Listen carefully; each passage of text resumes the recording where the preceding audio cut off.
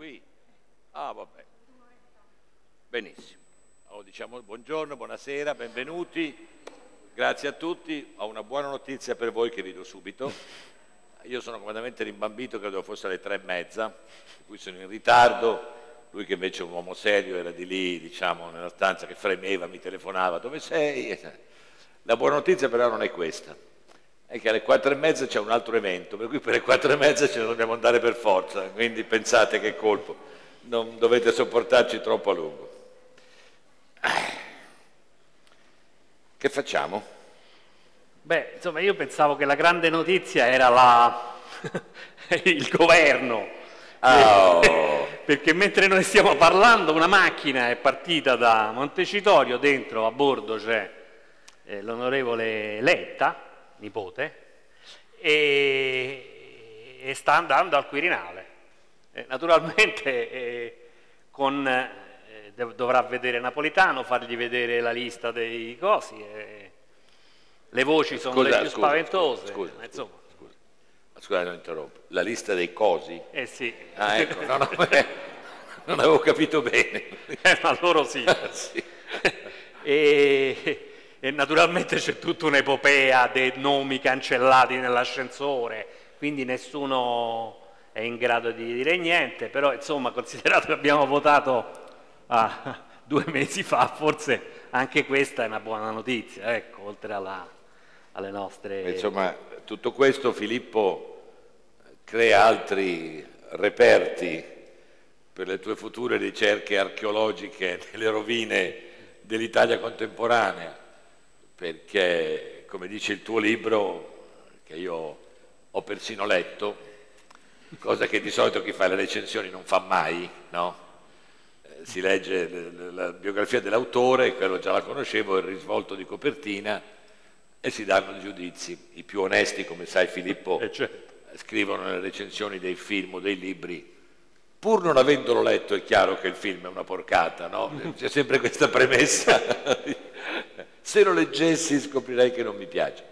No, ma è, è un libro di, di impressionante attualità, nel senso che Filippo, se non l'avete visto questo libro, se non leggete le cose che lui fa ormai per sua sventura quotidianamente per Repubblica, perché lui fondamentalmente è un romano, quindi è pigro, non c'ha voglia di fare niente, e lo costringono tutti i giorni a frustate a scrivere, perché è il momento di queste cose, è una ricerca, secondo me, meravigliosa di tutti questi frammenti, senza cercare di fare un grande affresco, dove va l'Italia, da dove veniamo, dove andiamo, chi sarà, ma lasciando che siano eh, i piccoli oggetti, le cose, le, le piccole notizie a parlare.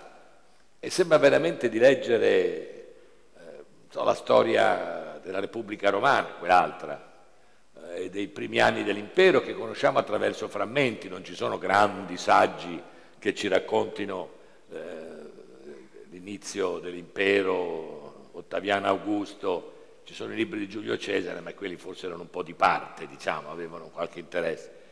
E quindi noi conosciamo la storia attraverso i frammenti e lui fa la storia del presente attraverso i frammenti di notizie, di queste piccole notizie, questi piccoli fatti straordinari, me ne sono segnati qui alcune migliaia, ma ve ne risparmierò, alcuni però, cioè la macchina, mi ha colpito moltissimo la macchina del sindaco Alemanno, tamponato da una macchina guidata da un cinese immigrato clandestino, cioè c'è tutta la metafora de, de, de, cioè, di tutte le automobili che circolano a Roma, Alemanno, il sindaco di Roma, i romani, basta con questi stranieri, bang, viene come si dice a Roma, infrociarsi, ma non è molto corretta come espressione, sì, da una macchina. Ci sono diversi eh, frammenti automobilistici. Uno eh, vede la Mussolini cascare con la macchina dentro una buca. Quindi è, dice, un altro è invece eh, in due casi sono andati a infrociare sul palazzo di Berlusconi Eh, sì. in notti elettorali, un autista e un eh, avvocato di Frosinone con una Porsche che hanno Eh beh, fondato certo. le, le fioriere. Però vedi, eh, vedi, cioè, eh. si vede un elettorato medio-alto, no? Mica ci vai Sono presagi di, diciamo, di, di ordine. E poi la- quando c'è stata la neve un albero è cascato sulla macchina di Azzurra Caltagirone in casini eh, e quindi c'è- non, non- non si lascia è, pieno, è pieno di segni. Poi eh, non voglio adesso annoiare particolarmente chi ci ascolta, ma esiste una poetica, una storia importante in Italia di quello che si chiama, se non mi sbaglio, il frammentismo. Era una corrente letteraria dell'inizio del secolo scorso che ha avuto forse la- la- diciamo, l'esponente più famoso e l'opera più famosa in Eugenio Montale con i suoi ossi di seppia. Ecco, tu fai più che altro ossa di pollo perché insomma, Sì, quella che- certo. la, La materia è quella, La, la Roma di oggi mi pare... Ma insomma, quali sono oggi i frammenti che uno storico del futuro, un ricercatore, un gufo, tra l'altro apprezziamo anche la capacità di sfidare la superstizione, non dice insomma, uno storno tra le rovine, un'aquila come quella della Lazio allo stadio che fanno volare, un gufo. Lui poi con quegli occhiali, un po' vero, sì, un pochino. Ecco, come ti è venuto in mente di definirti un gufo? Ma eh, io mi definisco il gufo, però eh, diciamo, qui c'è il gufone, nel senso che eh, sono in grado di documentare che eh, quando le elezioni erano diciamo, a due o tre mesi e dovevano andare in un certo modo, eh, io ebbi una corrispondenza con Vittorio Zucconi che allora era negli Stati Uniti, gli ho detto vabbè, insomma, eh, poi ci vediamo a Roma e lui mi ha risposto sì, sì, ci vediamo a Roma eh, la notte delle elezioni, dove in redazione si lavora, eccetera, e per la veglia funebre. E- ed, dire, ed erano, eh, nel frattempo gli altri erano già cominciati, te fai il ministro degli interni, te fai il sottosegretario alla presidenza, eccetera. No, in realtà, ecco, sono sette, io l'ho contati dopo, sono 777 eh, frammenti eh, di, eh, che, mh, e qui il gufo poi mi viene un po' da solo, nel senso che, che preannunciano eh, allegramente, non allegramente, buffonescamente, Beh. il, eh, il- il- il cataclisma che c'è stato, perché poi noi ridiamo, ridiamo, ridiamo, però non si sta mai veramente allegri in Italia, no? Per cui è successo quello che non doveva succedere e che invece non poteva che succedere, nel senso che esiste una, un nesso, una, una relazione, un qualche- una corrispondenza per lo più inconfessabile tra le buffonate e le catastrofi. Questa è, un po', è tutta una è la cosa tutta nostra, è una cosa tutta italiana. È una storia italiana. Per cui le rovine, eh, eh, ho visto che l'altro giorno su- su- sul mio giornale c'era un'intervista a uno storico, si chiama Salvatore Lupo, è un bravo storico, che non so più solo le rovine, sono le rovine fumanti, cioè questo per dare un quadro ancora più leggiadro alle cose nostre, là dove il fumo è costituito dallo spirito, dal- da- dallo sghignazzo seriale e, eh, e- anche crudele, per cui per rimanere ai giornali di oggi, proprio di oggi, mentre io che, le- che ho letto venendo qua sul treno, ci sta, sempre a proposito di macchine, il, i- i- i- diciamo, il partito de- del, del Sud Tirolo che ha fatto una pubblicità dove si vede Berlusconi dentro una 500 che va a sbattere tanto per cambiare, c'è scritto per non finire come l'Italia, quindi proprio già quando c'è la raffigurazione la, la- la cosa è già avvenuta. Poi ci abbiamo avuto sempre oggi eh, Dario Fo, perché poi i comici o comunque i- i- che ha fatto la battuta eh, non gradevole su, su- su- Brunetta. su Brunetta, il seggiolino, c'è una- ormai una, una letteratura di Brunetta e il seggiolino, quindi le cose si Eh, ripetono purtroppo c'è anche sempre Brunetta. e c'è anche o quello anche il problema, perché sì. però insomma No, vabbè, vabbè. e, e poi ci sta eh, Grillo, perché poi eh, mh, che, che dice il bunga bunga, tira in ballo mh, quella roba là, insomma, innominabile, la merda. Eh, il discorso pubblico di Grillo ruota attorno alla merda e alla morte, questo tanto per darci una allegria, no? gli zombie, le... e, e, e poi il porno ricatto ai deputati 5 Stelle, cui fa da pandan, sempre graziosamente, molto italiano, le carte di dalla Chiesa, che si è trovata la borsa ma non ci sono le carte, no? quindi c'è anche un qualche cosa di torvo che accompagna le vicende nostre pubbliche. E poi ci sta, io ho trovato però irresistibile ogni, eh, diciamo, mh, miniaturista si innamora di, di certe cose, io trovo straordinaria la vicenda delle spese dei consiglieri regionali in giro per l'Italia e la notizia di oggi straordinaria, quella che adesso tocca a quelli della Basilicata, i più bravi, i più sì. curiosi. Oggi che c'è cioè uno stesso che, che si è pagato la cresima della nipote e poi una collaboratrice estemporanea che si capisce chiaramente che è una... Sì, è una collaboratrice estemporanea. Però oggi è uscito fuori l'orsetto di peluche Beh, ecco, questo è proprio la, noi abbiamo c'è un pezzetto di questo orsetto che è pure nostro comunque di la signora che eh, cenava contemporaneamente in due ristoranti diversi eh certo, nello stesso momento. ma al minimo di, di pudore. quindi queste cose qua.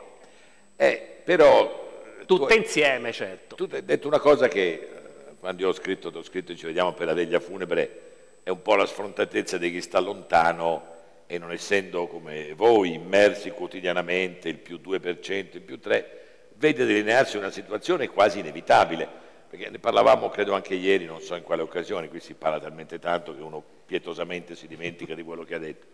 Allora dicevo, se io ripenso alla campagna elettorale, Filippo, allora che cosa ha promesso Berlusconi? Lo sappiamo, tasse, l'IMU, vero, non vero, Berlusconi uguale, meno tasse, meno IMU, arrivederci. Poi Beppe Grillo, cosa ha promesso? Tutti a casa, tutti a vaffa, tutti cosa?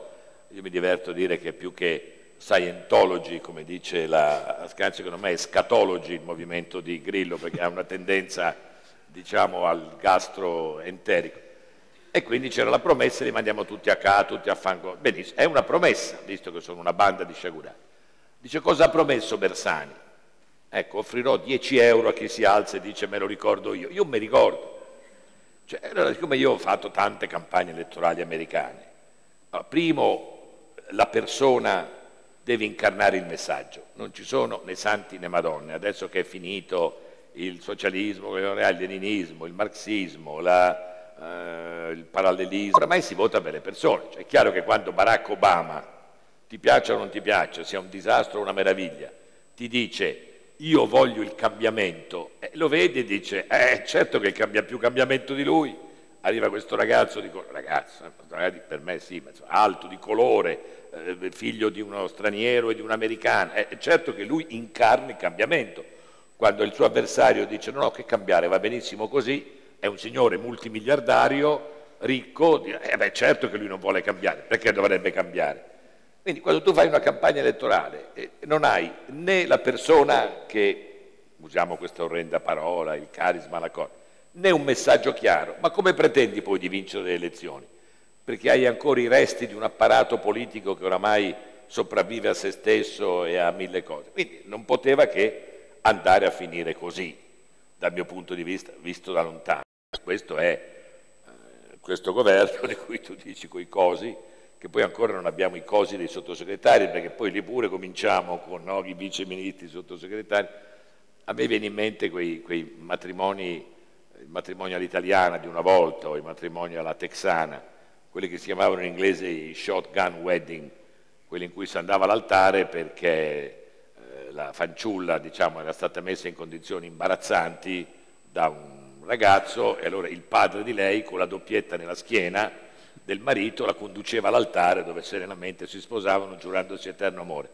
Qui è evidente che c'è Napolitano con la doppietta dietro la schiena di Letta che lo sta conducendo all'altare del Quirinale e tutti gli altri dicendo se non fate questo matrimonio io tiro il grilletto e buonanotte salta per aria a tutti.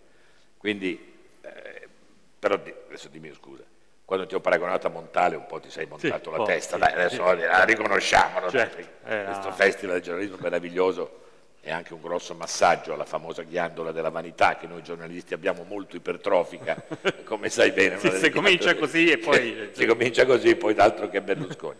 Però adesso voglio cominciare a leggere qualcosa di questo libro. Ma io Eh, non ti vergognare, l'hai scritto tu, eh? non lo so, in realtà eh, è, una, è, una, è una di quelle cose che mh, poi, in realtà io non riesco ancora a capire se è una cosa che fa ridere o se mette ansia. Fer- ferma, ferma. Nicole Minetti, già si avverte qualche... Tutte queste sono notizie vere, eh? non pensate ai giornalisti, le balle, occasionalmente, ma queste sono tutte vere. Nicole Minetti porta impresso sul cotone, notate la malizia, no, dice un pesante lana irlandese, sul cotone della sua t-shirt la scritta senza t-shirt sono ancora meglio. Il capogruppo dell'ITV in Lombardia, Zamponi, ne indossa una di risposta che dice finché non vedo non ci credo. Beh, cioè, mi pare no, un uomo politico serio, no, con un giudizio obiettivo. Eh, non so se ne vuoi leggere qualcun'altra, ma una che a me fa impazzire è questa che riguarda un altro personaggio, come dice giustamente Filippo, di questa tragicommedia all'italiana. Non mi voglio imbarcare adesso in, in storia della letteratura del teatro, ma il teatro italiano non ha mai prodotto né grandi tragedi né grandi commediografi. Per vincere un premio Nobel, l'abbiamo vinto con Dario Fo, che mescola le due cose, fa il buffone tragico, fa mistero buffo, fa contemporaneamente la tesi e l'antitesi di se stesso. Noi abbiamo inventato le maschere, abbiamo inventato la commedia all'italiana. Eh, Capitan Fracassa, poi ripreso da Teofil Gautier, però è un personaggio italiano. Pensate quanti Capitan Fracassa ci sono nella politica italiana in questi anni. No? Abbiamo del Capitan Scassa, ma anche del Capitan Fracassa, i Balanzone, gli Arlecchino, servitori di vari padroni, i Pure Genella, tutti qua. Eh, que- questa è la commedia all'italiana che, come sapete, ha sempre un grande fondo tragico. E uno dei personaggi che a me fanno impazzire di più, perché ha una profondità e uno spessore, è Formigoni. Formigoni, eh, lo rivedi? Poi mi dice... eh, Allora, dice il professor qui presente Ceccarelli Filippo, che è molto nervoso perché dice non è abituato a parlare eh, alla gente, ma non è vero, fa la civetta, fa anzi il buffo. Nella vicenda non specchiatissima, apprezzate l'understatement molto british, della Fondazione Maugeri, che ha coinvolto Antonio Simone di striscio anche Formigoni, tra i comportamenti che destano l'interesse degli inquirenti c'è quello di giustificare esborsi di denaro attraverso progetti di ricerca. Dice, beh, dice che non si fa la ricerca in Italia. Questo usava ricerca. Uno di questi progetti di ricerca, fatto dalla regione Lombardia, era mirato a calcolare la capacità di sopravvivenza dell'uomo su Marte. Cioè, abbiamo i cellini su Marte. Cioè, ma che, chi gli frega la regione Lombardia di sapere se un uomo sopravvive su Marte? Cioè, a malapena li fa la NASA, non riesce ad avere fondi la NASA, il Parlamento americano gli vuol dare, ma basta con sta Marte, non rompiamo le palle. No, Formigoni spende.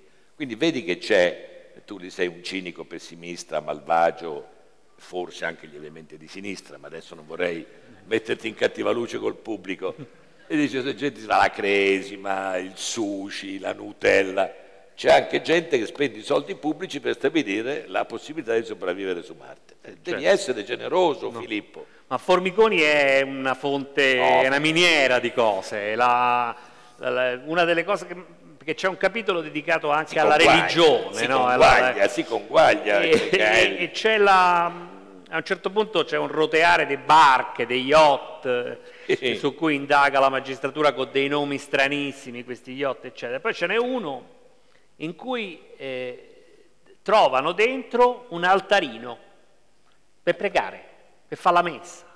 Cioè si scoprono gli altarini, accadono proprio cose nell'Italia in cui proprio letteralmente le, le antiche modi di dire le- hanno una loro rilevanza. Loro Però il dato della, della, comme- della tragicommedia, la trasformazione della vicenda politica eh, italiana, le grandi storie collettive dello scorso secolo, oppure ci Eh, sono certo. state, non è che si sono eh, rinvoltolate oppure sono degradate in una specifica forma di, eh, di- di commedia, che è il cinepanettone. Cioè il cinepanettone è realmente eh, dentro la, la vicenda politica italiana, al punto tale che ehm, il braccio destro del ministro dell'economia Tremonti, che si chiamava Milanese, eh, quello ha deciso nella sua vita di passare un capodanno a New York con Christian De Sica e la Ferilli. Eh beh, Cioè, è una cosa che, che comincia a, a dare il pilotto all'impiegato dell'azienda che gli deve naturalmente pagare il viaggio, non solo per i biglietti, per tenere le relazioni con questi attori, eccetera, ma per avere lo stesso piano nell'albergo. Quindi evidentemente lui sta dentro questo film, ma è pieno di cose di cinepanettone. La visita di Gheddafi a Roma è mm, con la tenda a Villa Panfili, eh, Berlusconi che dorme mentre c'è il museo sul razzismo italiano, le- le- le- i, i torpedoni con le ragazzette che gli portano. eh. È una cosa di, di, di, di cinepanettone. Le nozze di Briatore alla vicino in Vaticano, là col cardinale che le celebra e fa l'omelia sulla fedeltà matrimoniale, Briatore sta al terzo di matrimonio, è un cinepanettone, è una... È una... Salvo Vittorio è, è- è che a un certo punto il cinepanettone non basta più e si arriva alla farsa e arriva il bagaglino. Cioè c'è un ulteriore scivolamento nelle vicende, nella Ulteriore. vicenda pubblica ed è, ed è appunto la, la- la trasformazione del cinepanettone. Poi ci fermiamo perché No. capite che dopo non è che c'è allora, allora Filippo la domanda però è, è il cinepanettone che imita pur parodiando la vita, la vita di una certa classe di persone o è il contrario? Perché da quello che tu racconti del viaggio di Milanese, personaggio assunto alle cronache, vero per me, chi è che imita chi? O c'è un'identità o è lo stesso albero che produce questi frutti apparentemente È diversi? possibile ma che non uguali? ci sia, ci diciamo che non c'è un'alternativa tra le due cose, sono conciliabili. Allora, qui adesso ti metto in difficoltà. Io ho scritto una volta, non mi ricordo più se Twitter, Facebook, non si capisce più niente. Uno scrive, manda queste bottiglie, ti arrivano poi i bar insulti, vaffa, va benissimo. Ho scritto, io non ho mai visto un cinepanettone. Io sono uno che domani corre a Roma per vedere Chievo-Atalanta in televisione, cioè non dovete pensare a uno snob, sai, sfoglio un po' Hegel prima di addormentarmi, qualche paginetta di Cantari. no? E io sono, però io il cinepanettone non l'ho mai visto. Mi scrive una collega, non ti dirò il nome, ma una collega che dice, ecco perché la sinistra non vincerà mai le elezioni. Perché voi snob, intellettualini, radical chic, a me dello chic me l'ha mai dato nessuno, quindi è un insulto che non tollero, eh, il cinepanettone e non capite il, il- il popolo, eccetera. Cioè, è vero secondo te, siccome dubito che anche tu abbia visto molti cinepanettoni, Ma no, perché poi sono no, sì o no, non di ma no, non fa il politico, hai visto o non hai visti? 3, 4, Ah, ah, tanti c'è anni. speranza per la sinistra. in, tre in tanti anni, no? Ma, però sono i, i meccanismi, i dispositivi dello spettacolo del, del cinepanettone, sono quelli classici dell'antica commedia, gli scambi di persone. Sì, ma è per quello che la sinistra non Ma vince no, le elezioni, no, perché no. la puzza sotto Ma il no, naso. no, un po' sì, però non è che mo adesso perché eh, i, cinepane- i cinepanettoni so, poi ti annoiano, cioè devi, so- so- ne abbiamo talmente tante che non c'è bisogno di, del cinepanettone. E, eh, per dire qua eh, succede una cosa che ho scritto. Eh, beh, sulla riviera Adriatica, Porto Saltelpidio, pizzicano un egiziano eh, di 19 anni con 20 grammi di eroina e, e un po' di soldi. Allora lo ferma, lo stanno a fare eh, entrare nella, nella- nella- macchina della polizia e lui dice fermi tutti, io sono il fratello di Rubi. Ma è vero, cioè non è una cosa così. Oppure sulla Lega, la Lega altra produttrice Eh. di cose meravigliose, ci stanno eh, a un certo punto c'è, un sindaco del, de- de- de- de- non mi ricordo dove, insomma è un posto suo, ecc- che, che, mh, fa il risotto verde per festeggiare Bossi, Maroni, eccetera, e vi è fuori che fanno... Io l'ho visto in, in, in, fotografia, era una cosa spaventosa, uno ogni tanto mangia gli asparagi, però insomma questo era... Di... E poi scop ho scoperto che ci aveva messo il blu di metilene per fare il... Quindi cioè si va sulla follia. Comunque la Lega organizza sulle sponde del Ticino un eh. gioco maschio, tiro alla fune. Eh. La, la, la, I leghisti lombardi da, un, da, una sponda, i leghisti piemontesi dall'altra, oh Issa, oh, si rompe il filo, si rompe la corda, ma finiscono al pronto soccorso. Finito, Giorgetti, sì, sì. quello della commissione che adesso sta facendo tutto quanto, è finito al pronto soccorso. Le, le, le, eh, quindi accadono cose eh, stranissime. Oh, poi però eh, devo anche dire, per non buttarla tutta in, in, nella, nella farsa, che, e quindi qui eh, devo per forza di cose raggelare, il giorno della eh, celebrazione del 150 anniversario dell'unità d'Italia, all'altare della patria, eh, arrivano tutti quanti i potenti con le macchine, eccetera, e dalla caffetteria Italia, qui sempre per rimanere attento ai nomi, ai simboli, eccetera, c'è un, uno, un signore di 51 anni che, boom, si butta giù e muore.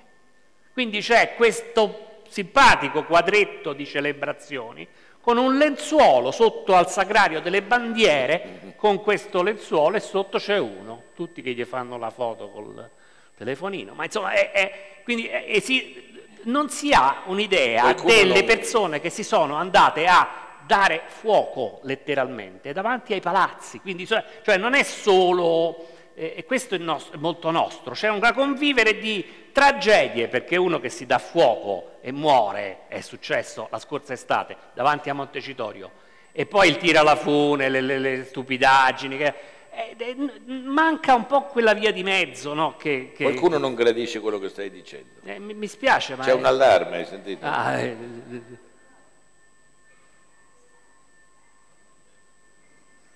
cioè, mentre parlavano dell'Italia, della cosa, suonò un allarme. È un segno, e, dice. Un segno, vede che attenzione a evocare i segni. E tu fai bene a introdurre l'argomento, ahimè, serissimo della crisi, eh, dei, eh, dei, ristoranti vuoti ai quali poi vorrei che tu dedicassi un attimo d'attenzione perché è una cosa alla quale penso. E dice perché tanti esercizi chiudono. A Fermignano, in provincia di Pesaro, la locanda La Brace, c'è anche un credo infernale, eh.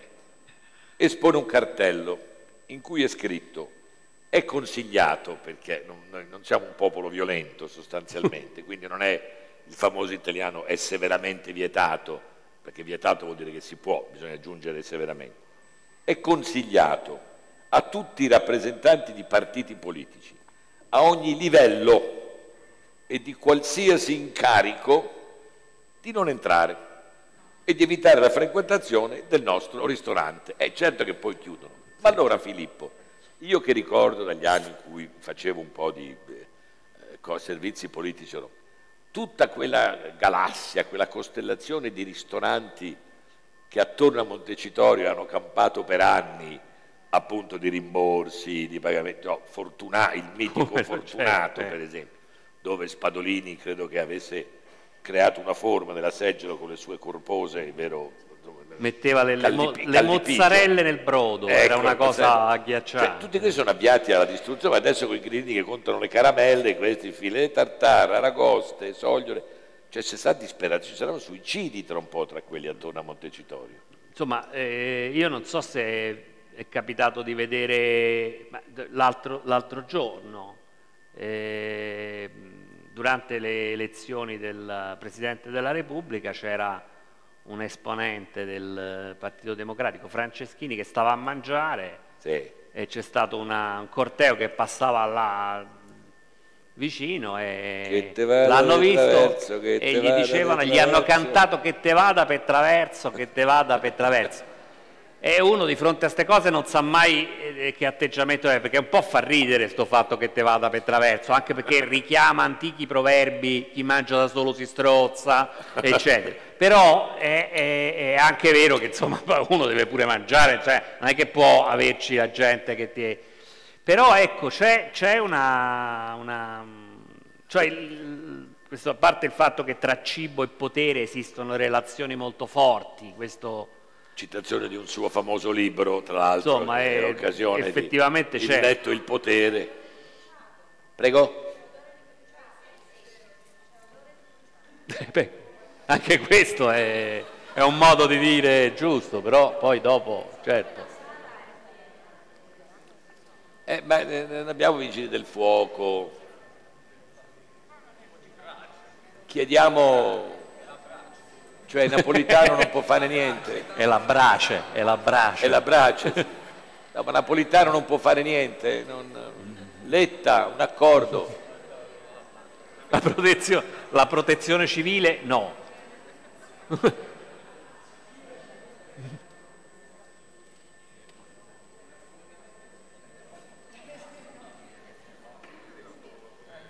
Il il servizio d'ordine, Va tutto Eh? bene. Va tutto bene. Lei chi è quello che ha appiccato l'incendio? Ah no, è un negozio fuori, va bene, quindi tranquilli. Ma che fanno fuori? No, vedo un signore autorevole, lei è della, è della... No, ci rassicuriamo. Va bene, tranquilli, quindi non faremo notizia. No? No, però diciamo Bertolaso che in questi casi arrivava l'uomo che sistemava tutto quanto, che le- dominava le emergenze, eccetera, è, mh, è protagonista di un, mh, di un brandello qua. Ah, sì, sì, c'è un a un certo punto, eh, senza entrare nelle cose, andava a farsi massaggi al eh, Salaria Sport Village Eh? e, e ci sono delle fantastiche intercettazioni telefoniche in cui viene fuori che siccome lo fa, sti massaggi vengono fatti a notte fonda, eh, insomma rimane chiuso dentro. E allora telefona con l'ins- e gli dice "Mm, apri la, la maniglia, devi girare la cosa, e cioè, lui, non, lui e la massaggiatrice non Beh, sanno vabbè. come uscire e, e allora deve venire quello a, a liberarli, insomma l'idea che l'uomo che appunto domina le emergenze rimane chiuso nel beauty center del Salario Sport Village è irresistibile. Da, da, da. E anche quello è parte di un cinepanettone, una scena che sembra raccontata. Sì, quello che mi ha colpito della, della scena tutto sommato sgradevole della- dell'assedio a Franceschini Eh sì, insomma. a questo ristorante, non so neanche quale, ma tu lo conoscerai probabilmente, uno dei ristoranti di vicino a Montecitorio. Si mangia malissimo, peraltro. Beh. sono posti. E c'è una vetrata, no, per, specie di acquario, per cui Si mangia passano- male e si spende poco. Beh, però buon segno, quello almeno diamo atto a Franceschini. E questi che da fuori gli gridano, Franceschini, mortacci, tu, alle vostre strozzate, e gridano e sono tutti contenti. Si vedono delle facce eccitatissime, una ragazza che dice, Franceschini, Franceschini. Uomo che non suscita in me particolari sentimenti, ma vabbè comunque, capisco che... E gridano e sono tutti contenti, il povero Franceschini esce, ma dai che insomma disturbate, che lui di Ferrara, ma no, ma questi gliene frega, affanculo. Cioè, e se ne vanno. In fondo il, il vero dramma di tutta questa scena è che quelli in difficoltà e nei guai sono quelli fuori dalla vetrata, non quelli dentro. Quelli dentro mangiano tranquillamente, sia pure male, e hanno da mangiare. Sono quelli fuori che sono quelli fregati, cioè credono di essere loro quelli che mettono in difficoltà quelli dentro, mentre sono quelli fuori dal vetro, quelli che oggi sono in difficoltà. E questo è un po' il, il, eh, secondo me, per parlare un attimo seriamente, che rompimento di palle questo allarme, una cosa terribile. Eh, cioè questa voglia di protestare, questa voglia di, di mandare di qui, mandare di là, di esprimere la propria rabbia, la propria collera, e a me, visto da lontano, un po' preoccupa, non perché mi preoccupa, bravo, grazie, non perché mi preoccupa la protesta, la piazza, figurati, io ho fatto in tempo a vedere gli ultimi anni della protesta contro il Vietnam, lì a voglia che te possa andare di traverso, te poi erano baggianate. E che tutto questo non sbocca mai in nulla. Cioè, eh, di fronte ai momenti di grandissima crisi, pensiamo alla grande depressione americana, a cui confronto la nostra situazione è un ballo in maschera, cioè lì veramente c'erano file interminabili di persone che fino al giorno prima erano ricchi e benestanti che andavano a mangiare la minestra pubblica. però produce Franklin Delano Roosevelt con un programma che si chiama il New Deal, che ha un notevole successo, non, risolve tutto, ci vuole la guerra, ma insomma comunque è una grande risposta del potere politico e anche del potere finanziario, anche del potere bancario, che pure aveva causato la crisi del 29, non dimentichiamolo, niente di nuovo sotto il sole. Riscoppia la crisi con Bush, sia la crisi morale, quella politica, quella internazionale, la guerra, l'interventismo americano, l'angoscia del dopo 11 settembre, bla bla bla, il grande crack finanziario del 2008 e l'America produce Barack Obama. Vi piacerà, non vi piacerà, non starà facendo grandi cose, però comunque produce in sé tutta questa rabbia, questa collera, produce a destra un movimento che si chiama il Tea Party, che avrà i suoi torti, però rappresenta qualcosa e sta in Parlamento, e Barack Obama. Cioè noi produciamo Grillo, adesso con tutto il rispetto, non è la stessa cosa, io non posso immaginare che il futuro dell'Italia sia nelle mani di Beppe Grillo, che fa delle cose straordinarie, ha organizzato una cosa, né di Berlusconi, non perché io abbia niente contro Berlusconi, vabbè, vabbè, uno deve anche, vero, concedere, ma perché quest'uomo ha dimostrato di non saper governare, a me poi che lui si infilasse la nipote di, di, di coso lì, la nipote, insomma quella signorina, no? E quelle altre, a me mi importa alla fine niente, c'è passato il momento di collera, di rabbia. Io ho vissuto in America e sono stato amministrato da un presidente che, vabbè, vi devo ricordare cosa accadeva, insomma, ecco, nello studio ovale. Eppure quando vennero fuori tutte queste cose, L'America disse, beh però è un buon presidente, stiamo tutti meglio di prima, il lavoro c'è, sembra di essere più ricchi e che se faccia spoppinare chi vuole, cioè alla fine, no? Eh, mica è mia moglie, se la moglie va bene, poi la moglie ha... No, sono stati anni durissimi per un giornalista, eh, perché trovare espressioni che evitassero inghiottire, che era difficilissimo, l'abbiamo superato felicemente. Quindi, ma questi hanno, hanno fallito nel loro lavoro, cioè che è quello di governare, al di là di ogni altra nipote di Mubarak, qualcuno ha fatto una battuta dicendo il Parlamento voterà sul fatto che Letta è il nipote di Letta, no, riconteniamo con la No, perché noi non riusciamo a produrre un, un beh, Letta, Letta il nipote, cioè Rubiletta, no, Rubiletta si può chiamare stimabile, eh, non ho niente contro di lui, ne ho sentito dire cose terribili nei suoi confronti.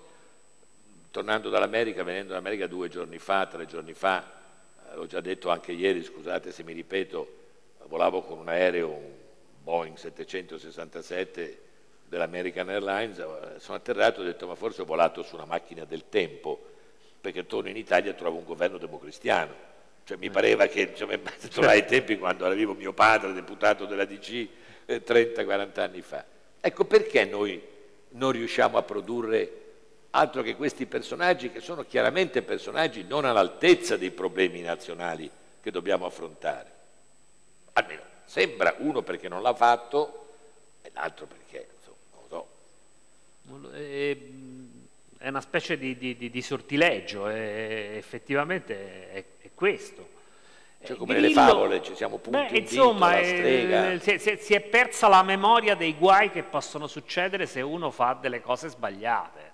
Eh, evidentemente è come quando eh, si perde il ricordo dell'eruzione o del terremoto e si costruiscono le case dove non si devono costruire, come si, non, non devono essere costruite e quindi si sono dimenticati quei 4-5 principi che poi, poi sono successe cose che, che, hanno a che fare con fenomeni più grandi. In Italia è venuto meno in pochi anni eh, i partiti di massa, la, la, la, la grande industria, la, legge elettorale proporzionale, la lira, è, è, accaduto tutto molto rapidamente, evidentemente su un substrato eh, di fragilità, quindi però l'impressione che ho io, l'impressione almeno eh, perché poi dopo aver notato, dopo aver eh, alimentato e nutrito i sensori su certe cose che, più, che attengono più alle forme che alla, che alla sostanza delle cose, eh, io ho avuto come la percezione che diciamo, nella paralisi di contemplazione di questo disastro buffo che è sotto gli occhi di tutti noi, che eh, un, una figura come Grillo eh, se, se, la, se, la, sono chiamata loro come si chiama un castigo di Dio, nel senso che eh, a forza di fare i buffoni, come eh, eh uno certo. ha scritto per eh, appunto 777 e allora la battuta, la spiritosaggine, la barzelletta, i colpi di sonno, le, le, le, no il burlesque, la gara di burlesque, perché lì c'è un tocco di genio nelle cose, no? E tu, a forza di fare i buffoni, ma tutti, no? È, è arrivato il buffone vero, il buffone professionale, il, il, il, comico che ha i tempi, i ritmi, la capacità, l'energia, la voce. Grillo è un fenomeno ah, certo. straordinario, nel senso che eh, prima parlavamo della campagna elettorale, no? eh, eh, ieri era, eh, dico, la campagna elettorale configura poi tutto quello che è successo eh, ci sono dei filmati di Grillo che si butta in mezzo alla folla, che nuota sulle teste delle persone, quindi per dire che uso fa del suo corpo. Eh, mentre invece figure che in qualche maniera avevano per un attimo, eh, non dico riscattato la, la, la, la, clowneria italiana come Monti, e nel giro di un mese e mezzo stava con sì. una bestiola in braccio, eh, con la birra e le, la comica che gli chiedeva se la moglie aveva letto 50 sfumature di grigio, cioè eh, eh, era rapidissima la caduta nel, negli schemi, nei moduli di una classe politica che evidentemente va incontro al pubblico per farlo ridere, per suscitare eh, simpatia. E quello era quello dell'uomo della sobrietà, insomma, quindi è Sai, io, io, non sono particolarmente sensibile a questi gesti simbolici perché che un deputato si tolga 2000 euro dallo stipendio, lo so che forse voi direte questo dice le cretinate, ma non cambia niente nella mia vita e neanche nella vostra. Sono gesti, risparmiamo alcune centinaia di migliaia di euro, benissimo, ma, ma a me interessa quello che guadagni tu, non quello che guadagna l'onorevole. Certo, se poi esagera è chiaro che diventa osceno, però ci sono cose alle quali si dovrebbe essere sensibili. Io ho visto l'altra sera uh, un piccolissimo filmato, non mi ricordo più perché poi si fa un calderone guardando questi talk show, servizio pulito, piazza pubblica, mm. porta sul di dietro, la finestra sul cortile, capisco più una mazza. Poi sono sempre quelli che girano, che protestano, vabbè.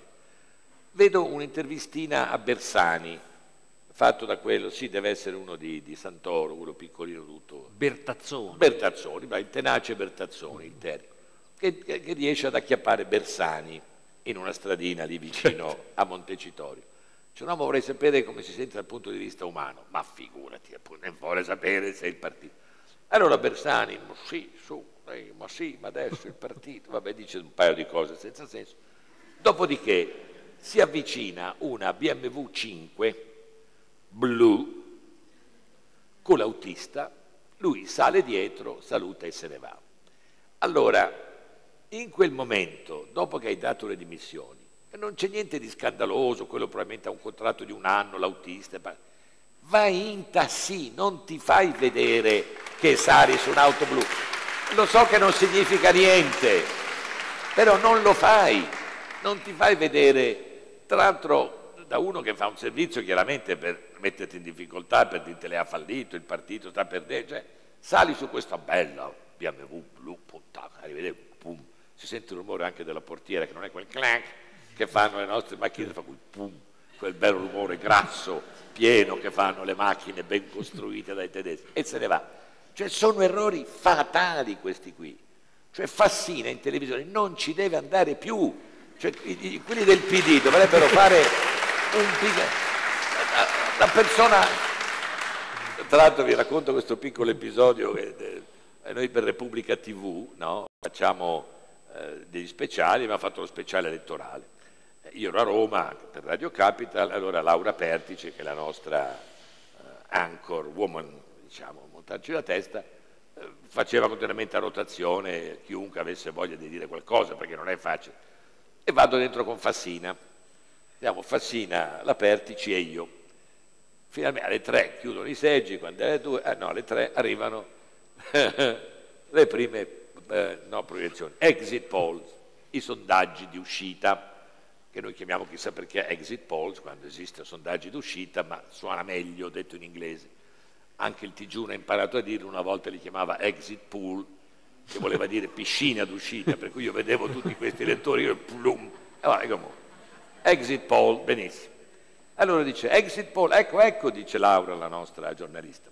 I risultati sono il PD 34%, PDL 26%, Grillo 23, cosa dice? Allora Fassina dice, ah beh certo un chiaro mandato, il governare, il cambiamento, la cosa. Passano 20 minuti, eh, la, Laura aveva davanti a sé un tablet, ah dice aspetta scusate, scusate, dice eh, sono arrivate le prime proiezioni, le proiezioni sono una cosa più seria perché sono basate su voti espressi, non su quella che esce signore per chi ha votato, il partito della bistecca, no, quelli sono basati. Dice ecco exit poll. eh, dice, allora eh, sono PDL 30%, PD 28%, Movimento 5 Stelle 26%. Allora Fazzina dice no perché vedo che comincia disperatamente a allungare la testa verso... Dice, forse è sbagliato. La stessa Pertici aveva l'impressione di essersi sbagliata a leggere. Cioè questo povero uomo era rimasto di, senza parole. Allora dice, beh, certo questo può cambiare un po' la prospettiva politica. Minchia se può cambiare la prospettiva politica. Gli ha rovesciato tutto. Cioè vedevi queste persone che chiaramente non capivano più il mondo nel quale vivevano. Cioè, erano veramente i marziani di, di Formigoni, non so se sono arrivati sulla Terra o i Lombardi alla prima spedizione spaziale. E quindi io ho l'impressione, quando vedo, ripeto, non voglio prendermela con Bersani, è veramente un maramaldeggiare oggi. E poi ha detto qualcuno, in fondo, lui ha vinto tutto perché ha preso il Presidente della Repubblica del PD, la Presidente della Camera del SEL, il Presidente da, il Primo Ministro, cioè in altri posti sarebbe portato in trionfo, no? eh certo. invece lui viene giustamente trombato perché l'Italia è ovviamente questa. Cioè non hanno la sensibilità di queste piccole cose che ci danno fastidio. Ci vuole cacciare via, signor No, dice se, se vogliamo delle, delle, domande, sì. Assolutamente sì. Delle domande gentili, quanti anni ha, quanti, come stanno i miei nipotini, queste cose qui. Lui ha una deliziosa e bravissima moglie, una collega. Quindi prego, passate il cono gelato. Eh, salve, vorrei fare una domanda. Uh, ho trovato molto interessante il paragone che avete fatto. Cortesia. Sì. Si può alzare perché... Ah, sì. eh, grazie. Ecco. Eh, niente, ho trovato molto interessante il paragone che avete fatto tra l'America e l'Italia rispetto alla nostra incapacità di produrre del nuovo o il meglio che possiamo Classi produrre è grillo nei momenti di crisi. Eh, mi è piaciuta l'espressione che lei ha usato di questa ehm, eccessiva contemplazione del nostro disastro. Quindi mi chiedevo se non fosse proprio questo il problema. Lei forse me lo potrà dire, cioè in, forse noi siamo più bravi ad analizzare i nostri disastri, molto di più di quanto magari non lo facciano in America, in cui non si concentrano tanto sul problema ma producono direttamente il cambiamento. E, e infatti il nostro cambiamento è colui che sa al meglio denunciare il disastro. Sì. E questo, insomma, Posso accennare io? Come no? È bella, il, il, Beh, insomma, siamo qui a parlare per pochi minuti, non possiamo fare seminari eh, di, di politologia comparata. È evidente che noi italiani siamo, ma anche storicamente, culturalmente, eh, un popolo con una grande capacità di analisi e una scarsissima capacità di sintesi. Noi brilliamo nell'analisi, eh, magari anche nelle autopsie, continuiamo a dire ma perché nel 48? Vabbè, 48 è finito. Poi la sintesi. Gli americani hanno il vizio opposto, cioè ti dicono va bene, va bene, sì, sì, d'accordo, e mo che facciamo? Il problema è sempre quello. Ecco perché molto spesso gli americani commettono errori come eh, partire andare a fare la guerra in Iraq, in un paese che non c'entra nulla con l'11 settembre, che crea... perché c'è questo bisogno di, si dice in inglese, do something about it fai qualcosa, c'è un problema di povertà, fai qualcosa, magari di sbagliato, ma fallo. La nostra risposta, e l'avete vista anche in questi giorni, classica, è grande analisi, 848 editoriali, perché? 47.000. Perché? Perché? Che c'è dietro? Ah, ah, ah, che c'è dietro? Dopodiché, quando proprio sei arrivato per tornare al movimento di scatologi con la merda fino alle orecchie, che se fa? Grande risposta italiana è si nomina una commissione.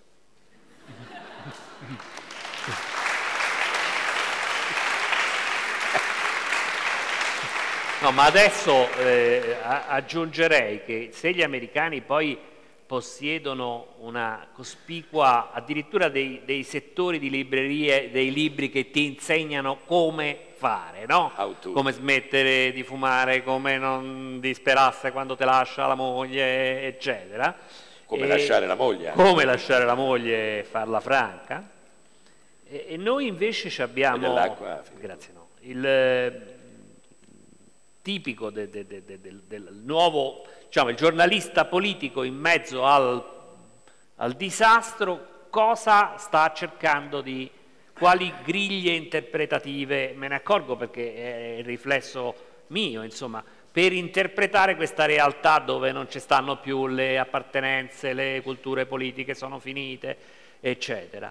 Ah, gli psichiatri, questa è l'ultima, cioè il sistema è impazzito e allora si studiano le dinamiche psicanalitiche o sulla famiglia e, e, non, e funziona, tiene la cosa, perché se voi guardate la riconferma di Napolitano è la riconferma di un nonno, evidentemente c'è un modello di autorità paterna che non funziona più, eh, c'è un figlio Renzi che vuole fare, eh? c'è un padre adolescente come Grillo che dice le parolacce, e c'è un nonno, c'è uno zio adesso e c'è un nipote. Nonni, cioè, sempre da noi nonni venite esatto, a caricare eh, i bambini. Quindi voglio dire, eh, questo è Vero. quello che passa oggi. Eh, l'interpretazione politica è insomma è una, è una resa, è una resa, è una resa però è questo che cioè, oggi abbiamo il governo di famiglia cioè stamattina Letta, Berlusconi e Letta cioè lo zio e il nipote hanno sicuramente, io credo, facilitato questa cosa. Nel frattempo avranno anche nominato i cosi, eletto i, i, i, chi c'è, chi non c'è, ma insomma è, per dire che il sistema è impazzito sul serio e quindi in qualche maniera noi italiani ci troviamo lì a strologare su dinamiche appunto che attengono allo studio della mente umana, del cervello, eccetera. Sì, ma allora la questione è chi è che si fa avanti per dire? Perché per quanto alcuni di noi possano non avere particolari simpatie per Grillo, per però certamente uno che si è fatto avanti. Eh, questo è un dato di fatto. La risposta degli altri che cosa è stata? La Bindi, cioè no, dico, vabbè, non voglio approfondire. No, vabbè, no, no, no, non volevo strappare un applauso facile, ma io dico sempre che ci sono alcune cose che quando io morirò, e naturalmente andrò in paradiso perché è evidente, eh, questo mi pare ovvio, ci saranno alcune cose che voglio sapere, finalmente dove andiamo, dove andiamo, chi ha davvero ucciso Kennedy l'11 settembre e che cazzo ci fa la Bindi, cioè perché in politica italiana ci deve nel 2013 essere Rosi Bindi, eletta, vi lo faccio notare, come derogata dalle norme del PD stabilite da Bersani, che è la prima a ribellarsi contro Bersani. Questa è un'altra delle grandi... No, ma fino a ieri poi era percepita come una figura più che rispettabile. È, è, è dell'altro giorno, cioè de, sì. è di due anni fa quando lei con Berlusconi si vede sto faccione dei Rosi Bundi che è un po' bulla, quindi sa come risponde, eh. disse a Berlusconi Presidente, io non sono una donna a sua disposizione. Il giorno dopo c'erano le magliette, non sono... Sì, sì, cioè, in realtà è anche... Eh, eh, nella tragicommedia italiana è anche vero che le figure eh, si presentano nell'arco di un tempo abbastanza rapido eh, secondo prospettive completamente opposte. Berlusconi rischia veramente di essere il padre nobile di questo governo, che, che, no. che... però eh, eh, Vittorio, la cosa impressionante è che anche solo due mesi fa stava chiuso dentro un ospedale con l'uveite e la visita fiscale. Cioè in realtà è anche avvincente questa eh, vicenda di, di, di, per cui quello che stava con i medici che gli dicevano tu adesso facci vedere che stai male sul serio, oggi è il trionfatore e quindi è eh, siamo in qualche maniera anche ipnotizzati da questa, da questa realtà, nella quale... Allora forse ci piace. Eh, eh. Forse ce la meritiamo, Perché abbiamo commesso o abbiamo delle cose O abbiamo il complesso della donna picchiata, eh, quella che non ha il coraggio per anni e per anni di denunciare il marito e magari si colpevolizza dicendo ma forse sono io che faccio qualcosa, lui è un bravo uomo, ogni tanto è un po' manesco, però in fondo è un buon padre di famiglia, sappiamo benissimo quanto è difficile per una donna eh, picchiata, maltrattata in casa avere il coraggio di ribellarsi e andare a denunciare il coniuge. Noi abbiamo il complesso della moglie eh, picchiata. La sindrome di Stoccolma. Eh, dico, sì, la, la sindrome la, di Stoccolma, chiamiamola così. Resto... Però c'è una domanda che ti devo fare adesso, eh, perché allora poi stiamo a cappellare. Ma Berlusconi diventa Presidente della Repubblica no, se vince no, le prossime no, elezioni. Dimmi, Filippo, dimmi la verità, dimmi la verità Filippo. Non, allora te la faccio più facile la domanda. Letta questa, diventa Presidente Perché questa è una fesseria che ti ho chiesto, naturalmente non lo puoi sapere. Lui continua a sperare di manovrare anche oggi in termini di questa alleanza di governo per, per rivincere le elezioni con una legge diversa tra un anno e mezzo, due e puntare al Quirinale. Lui non ha mai smesso l'idea di arrivare un giorno al Quirinale, visto che ci si arriva anche a 88 no, anche anni, perché poi è uno che, che, che, che, diciamo ha sette vite, eh, quindi è, questo non, Tre non prostate e sette vite, eh, insomma, è... Non lo so, sì, credo che sia questo il eh. suo obiettivo, però insomma eh, può succedere di tutto. Questo è, è un paese nel quale può ancora succedere di tutto. Signore col cappello. No, volevo ricollegarmi proprio a quello che diceva, che diceva ma forse la colpa è nostra. Eh, su questo volevo dire che infatti anche secondo me diciamo che noi italiani siamo un po' tutti campioni di retorica, no?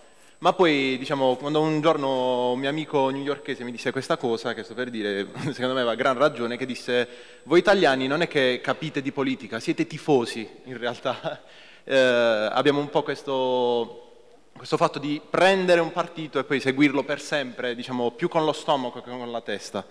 Diciamo, secondo me alla base di questo c'è un problema culturale un po'.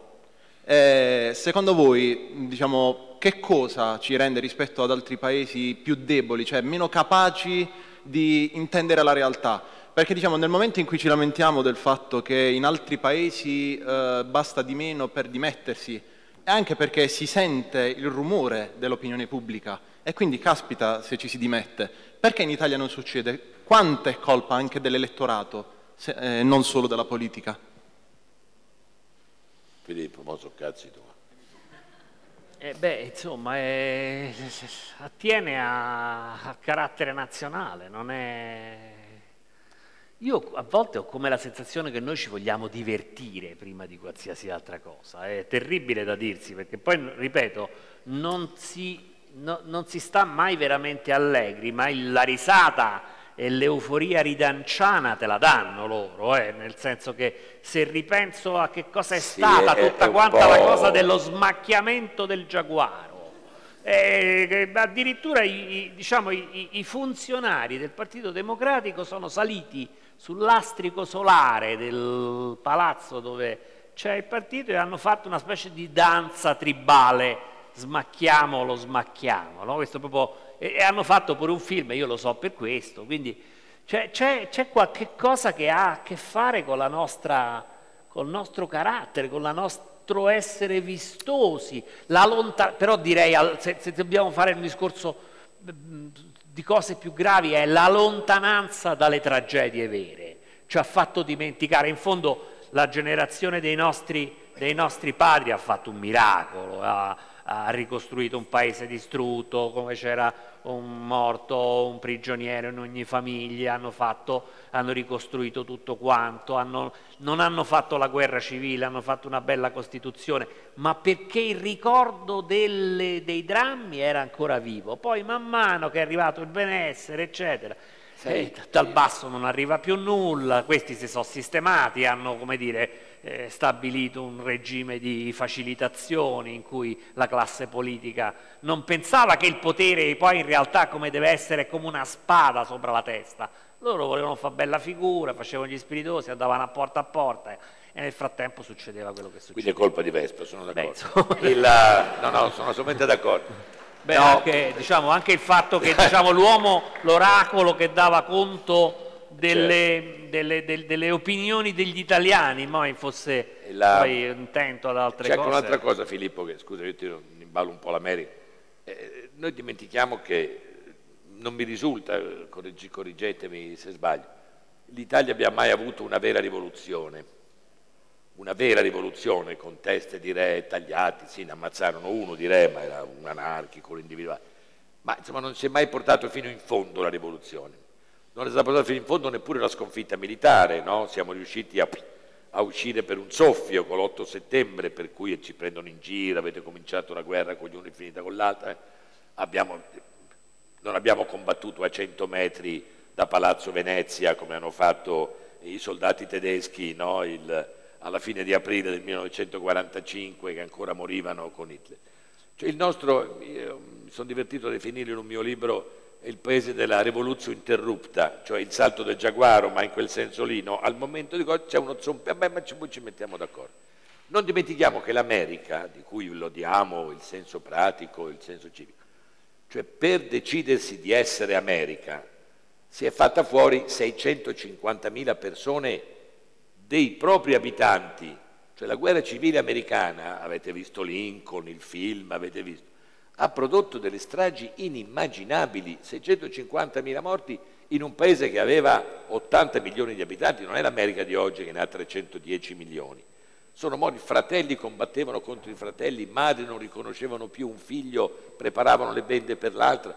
C'è ancora della gente, ho visto dei documentari stupendi che oggi sudisti, che quando si nominano certi nomi di generali del nord, eh, ho visto una gentildonna che avrà 90 anni, quindi ha detto no, dato l'intervistatore per cortesia, quello è un nome che in casa mia preferirei che non venisse fatto, cioè 1865 è finita la guerra civile, quindi hanno pagato un prezzo altissimo per arrivare a dire, ah, regà, forse qui magari eh, troviamo una soluzione, sì, se Nixon va bene lo cacciamo via, e poi c'è un'altra cosa. Io sento tanto parlare in Italia di questi famosi poteri forti. Ecco, io vorrei che un giorno qualcuno mi dicesse dove sono i poteri forti. Io vedo quello che in Romagna si chiama uno squacquerone, che è una specie di stracchino particolarmente, una pappocchia, sì, c'è il Vaticano. È davvero un potere così forte oggi il Vaticano, impicciato come lo Iori, i casini propri, eccetera. Dove stanno le banche, le banche? Sono tutte lì che devono implorare dallo Stato che gli facciano la flebo perché altrimenti vanno sott'acqua. Cioè, dov'è? Negli Stati Uniti a un certo punto esistono davvero i poteri forti. Quando il presidente Nixon sta mandando in malora l'America e sputtanando la Costituzione, è uno dei suoi vecchi di partito, si chiamava Goldwater, che va alla Casa Bianca e gli dice, senti Riccardo, e mo te ne devi dannare, perché sennò qui andiamo a fondo tutti, eh? No, ma io è un torto, lascia fottere, tu te ne devi andare. E infatti se ne va e l'America riprende il cammino. Cioè chi è che oggi in Italia può andare da Berlusconi, può andare da Grillo, se diventasse una cosa pericolosa, magari non lo diventa, e dire, beh adesso basta ragazzi, tu caro Grillo hai avuto un grande successo, 25% già è, beh se vuoi cambiare vediamo di metterci d'accordo con quelli, che vada... Non c'è nessuno chi è? Montezemolo. Ma dico, regà, ma, oh, ma siamo la, Fi, la Fiat. La Fiat sta in piedi perché ha preso 6 miliardi da Obama, mica perché Marchionne ha salvato gli stabilimenti di Pomigliano d'Arco. Quindi io vedo eh, uno spappolamento di poteri, deboli, un po' meno deboli, un po' più forti, cioè vedo delle lucertole. Dice Berlusconi è un caimano, è un lucertolone eh, Berlusconi nel mondo. L'unico invitato in Texas per la apertura della biblioteca di Bush, dove io ho scritto, hanno colorato insieme il libro, lui e no, perché insomma, la biblioteca di Bush è, una, è un ossimoro, francamente, non ci risultava. Quindi questo è curiosamente un altro elemento di preoccupazione. Forse ha ragione lui, dobbiamo raccogliere dei frammenti e può dire da questi frammenti poi alla fine noi sopravviveremo, noi sopravviviamo sempre, sopravviviamo sempre, non è vero? Evviva! Grazie Filippo, grazie. Leggete e diffondete, come si diceva una volta dell'unità. Grazie a tutti.